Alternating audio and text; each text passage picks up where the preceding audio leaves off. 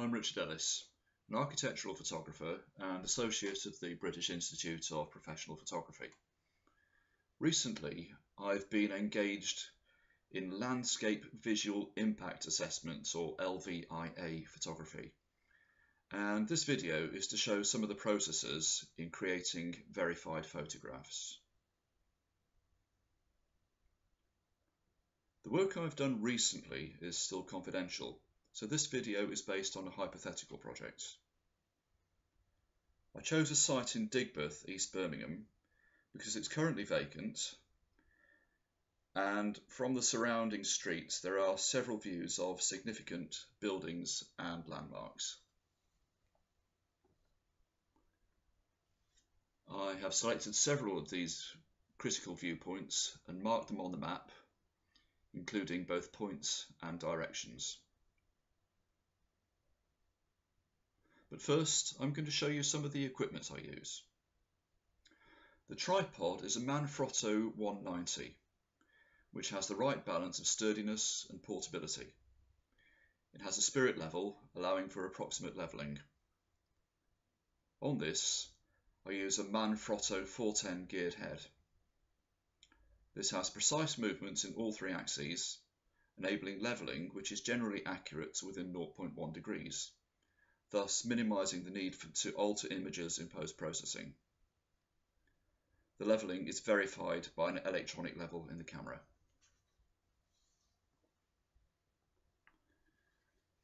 The camera I'm using here is a Canon 5DSR. This is a full frame camera with three notable advantages. Firstly, it has a high resolution 50 megapixel sensor with a wide dynamic range. Secondly, it doesn't have a low pass filter, unlike most cameras, meaning that images are especially sharp.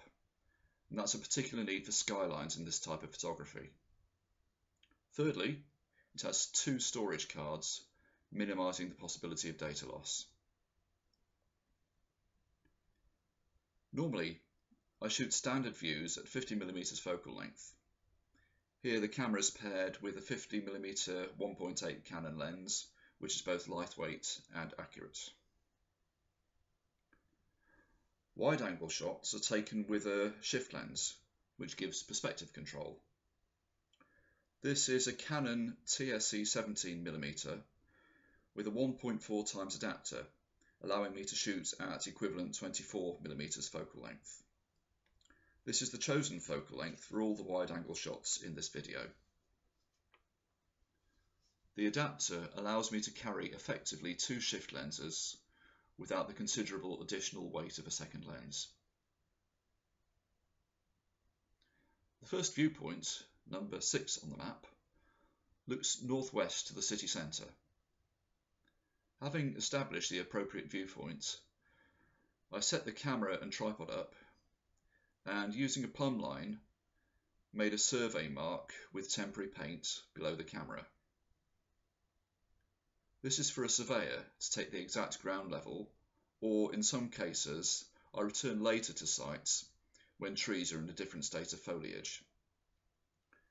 The camera is placed at a consistent height of 1.6 metres above the ground level, equivalent to an average person's point of view.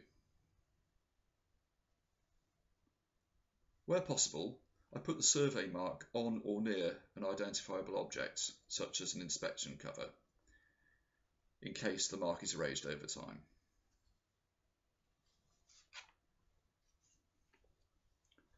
Along with a photo of the survey mark, I also supply the customer with the grid reference and a what3words screenshot to ensure the, the location is unmistakable.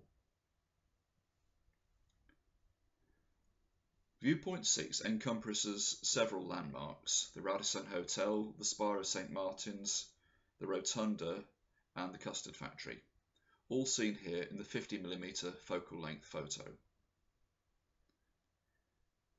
The next three photos show the effect of using a 24mm shift lens, shifted at different heights to maintain a level perspective whilst bringing higher building lines into view. When extremely high resolution is needed, I can take a series of portrait format photos at 15 degree intervals. The seven images here cover the equivalent of 117 degrees, or roughly an 11 millimeter focal length lens.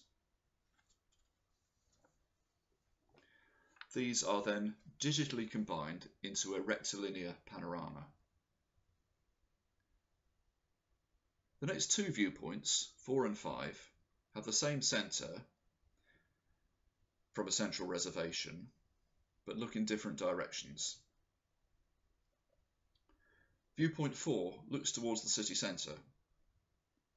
Here again, we see the view through a 50mm lens, then through shifted views at 24mm.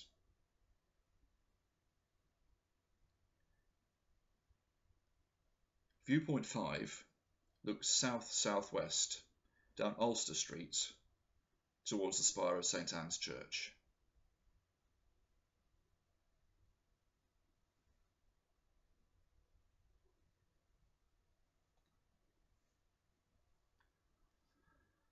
For the purposes of this video, the last set of images is from viewpoint 8. Again, there is a combination of standard and wide-angle views. Here, proposed building lines are superimposed onto the photos, and the shifted wide-angle images show how different roof lines might impact on the view, and also how a structure might relate to adjacent buildings.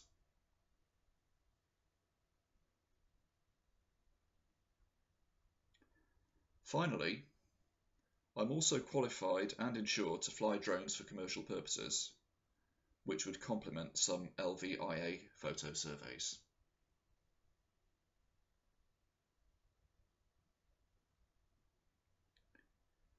If you have any questions, feel free to contact me. Thanks for watching.